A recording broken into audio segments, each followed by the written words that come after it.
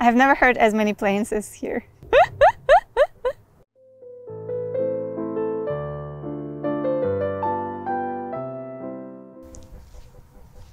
hey, welcome to Math Life Balance, and we continue the series K-Theory Wonderland. Today I want to tell you my favorite fact about K-Theory, and as always, if you can't follow the math I'm telling, please don't worry, it's totally fine. And if you want to learn more, you can look in the video description for more references. So previously we have seen that K-theory is an invariant.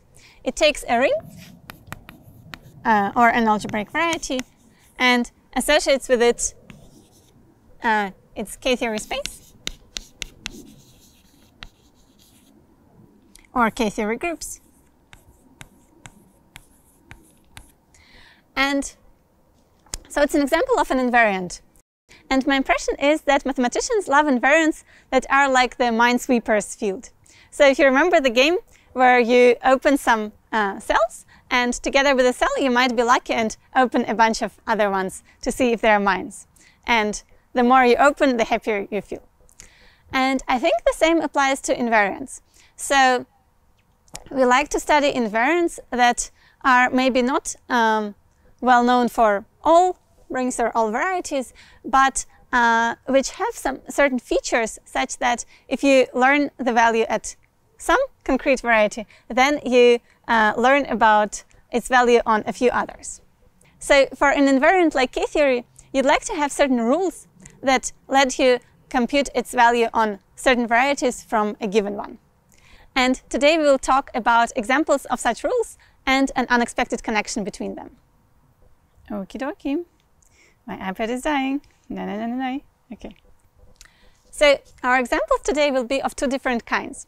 One example will be given by homotopy invariance.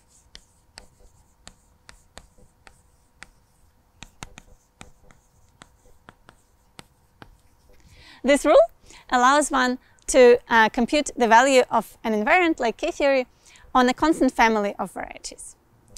And another example will be given by a certain kind of gluing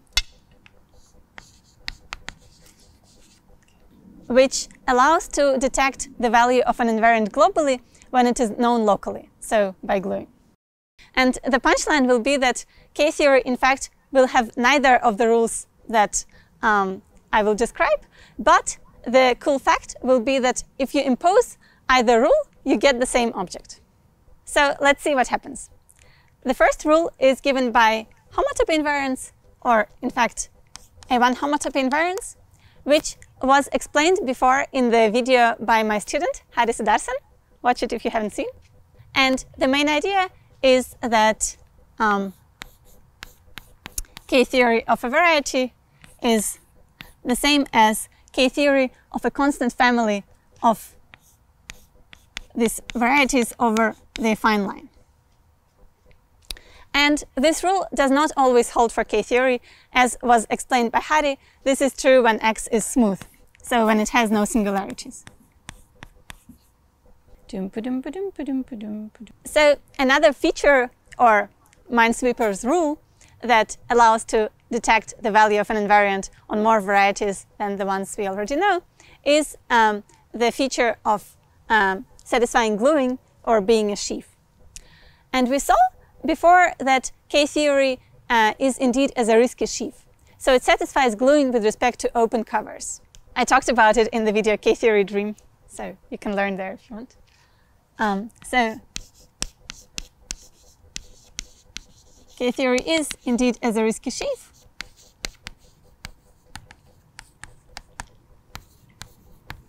So it satisfies gluing with respect to open covers. However, Grothendieck came up with more general ideas of covers, which are not just open covers, uh, and don't necessarily remind of a chart of a smooth manifold uh, as open covers do. So let's say we have a singular curve. On one hand, we can consider this singular point inside it. And on the other hand, we can consider what happens if we try to smoothen this curve. So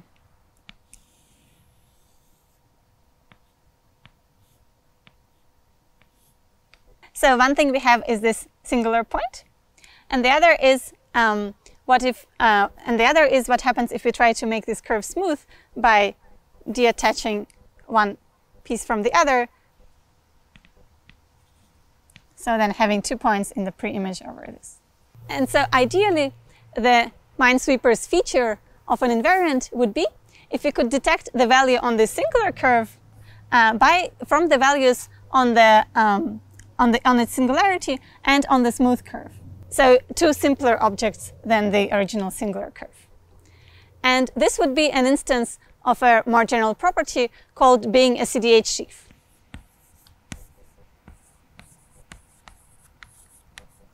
Uh, a typical cover of a singular variety in this generalized CDH topology is given by uh, taking the singular locus of a variety and its blowup, which is a beautiful geometric construction which allows to get rid of the singularities or make them less singular.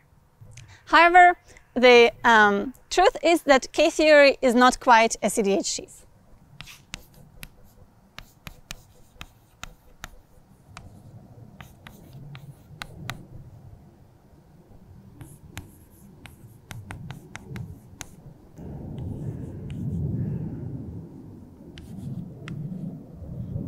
So while we would like to have this feature, K-theory does not quite have it. So one might ask, what, what do these things have in common? And uh, as with group completion, we can in fact impose either feature. And the cool fact is that imposing either feature gives the same thing, which can be written as follows. So it's a theorem by Denis-Charles Cisinski which tells you that if you take K-theory and on one hand impose being constant in A1 families, um, or on the other hand impose being a sheaf in this generalized sense, in the CDH topology, then what you get is the same thing. So this, on the left-hand side, you impose one kind of rule for computing K-theory. And here you impose another rule to get a computable invariant.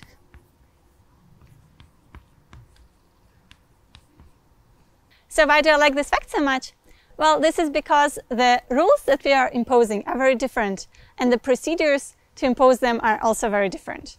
One rule is about understanding the value in families, once you know it on uh, just one variety. And the other rule is to understand the value globally once you know it locally in some generalized sense. So a priori, these rules have nothing to do with each other. And in general, if you take a random invariant, they will not agree. However, it's a feature of K-theory that in this case, the imposing these rules gives you the same result. This theorem was proved by Denis-Charles Cisinski, who is a friend and colleague of mine.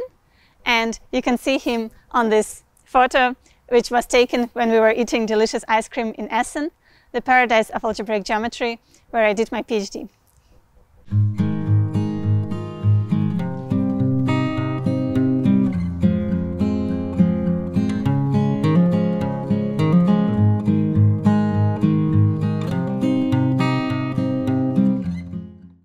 Really? I didn't realize.